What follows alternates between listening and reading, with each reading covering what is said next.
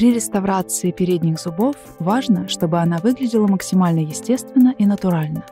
От этого во многом зависит то, насколько пациент будет доволен результатом. Для того, чтобы точно подобрать подходящий оттенок и соблюсти правильный диапазон прозрачности зуба, до сих пор требовался большой ассортимент материалов, а процесс послойного нанесения композита с контролем толщины слоя был трудоемким и кропотливым. Теперь, благодаря технологии наполнителя SphereTech от компании Densplay Sirona, стал возможен более простой подход – в этом видео будет представлена техника упрощенного послойного нанесения при реставрации по четвертому классу с использованием универсальных оттенков Cloud Shade, композита Neo Spectra ST в комбинации оттенками дентина и эмали композита Neo Spectra ST Effects.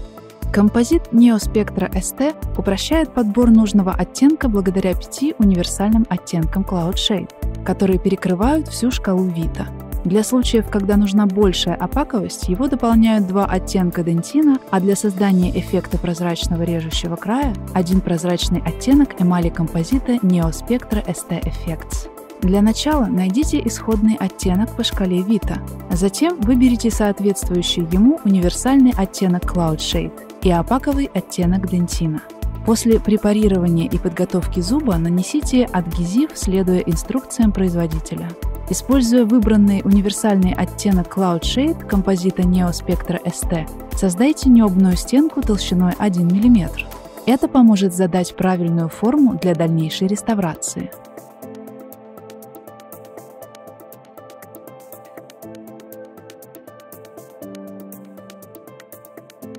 Полимеризуйте каждый слой композита в соответствии с рекомендациями, указанными в таблице.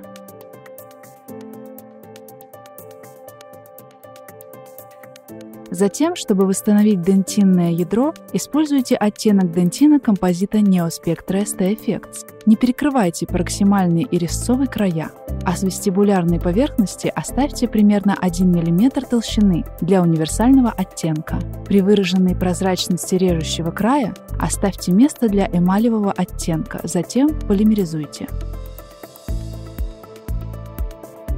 Для создания эффекта прозрачного режущего края, чтобы реставрация соответствовала прозрачности соседнего зуба, нанесите оттенок эмали композита Spectra ST Effects на вестибулярную нижнюю треть резца, затем полимеризуйте.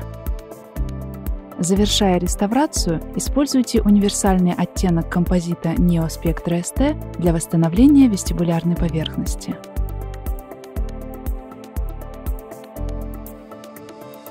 Полимеризуйте финальную порцию композита.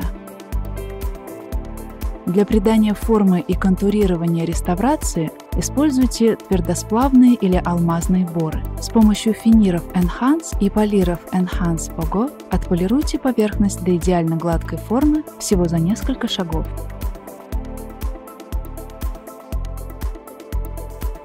Реставрация готова. Используя эту упрощенную технику послойного нанесения, вы создадите исключительно естественную эстетику за минимальное количество шагов с помощью композитов Neo Spectra ST и Neo Spectra ST Effects.